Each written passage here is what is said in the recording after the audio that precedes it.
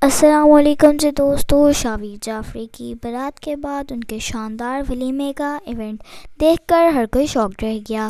دوستو، شاویر جعفری اور عائشہ بیگ کے ولیمے کی تقریب نے تو بڑی بڑی شادیوں کو پیچھے چھوڑ دی۔ دوستو ڈیکوریشن کی تو آپ بات ہی مت کریں، جو کہ عائشہ اور شاویر کے کپڑوں سے میچنگ تھی اور اس پر لاکھوں روپے بھی خرچ کیے گئے۔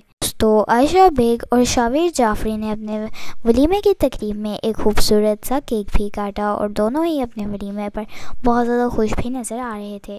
دوستو، عائشہ بیگ نے اپنے ولیمے کی تقریب میں گولڈن کلر کی میکسی پہنی ہوئی تھی اور ساتھ ہی ساتھ شاویر جعفری نے بلیک اور وائٹ پین کوٹ پہنا ہوا تھا، جس میں دونوں ہی چاند کا ٹکڑا لگ رہے تھے۔ دوستو، ان کے ولیمے کی تقریب تو اتنی شاندار تھی کہ انہوں نے بڑے بڑے شعبے ستاروں کی شادیوں کے بھی ریکارڈ توڑ دیے، خاص طور پر منال خال کی۔ دوستو، یہاں پر ہم آپ کو بتاتے چلیں کہ ایک بہت ہی ٹیلنٹڈ اور مشہور اداکارہ اور شاویر جعفری کی بیسٹ فرینڈ زویا ناصر نے شاویر جعفری کے ساتھ اور دلہن کے ساتھ ہال میں شرکت کی۔ دوستو، ولیمے کی اس تقریب میں شاندار ڈیکوریشن کی گئی اور لاکھوں روپے کا خرچہ کیا۔ دوستو، یہاں پر ہم آپ کو بتاتے چلیں کہ ولیمے کی اس تقریب میں بہت سے یوٹیوبرز، ٹک ٹاکرز، خاص طور پر عمر بٹ، جو کہ جنت مرزا کے منگیتر بھی ہیں، انہوں نے بھی شرکت کی۔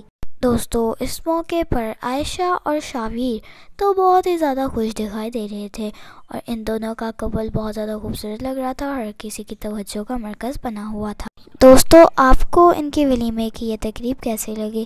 کمنٹ باکس میں اپنی رائے سگا کرنا مت بھولیے گا سوشل میڈیا سے مزید اپڈیٹس کے لیے میرے چینل کو سبسکرائب کیجیے گا اسٹے ود اس اللہ حافظ۔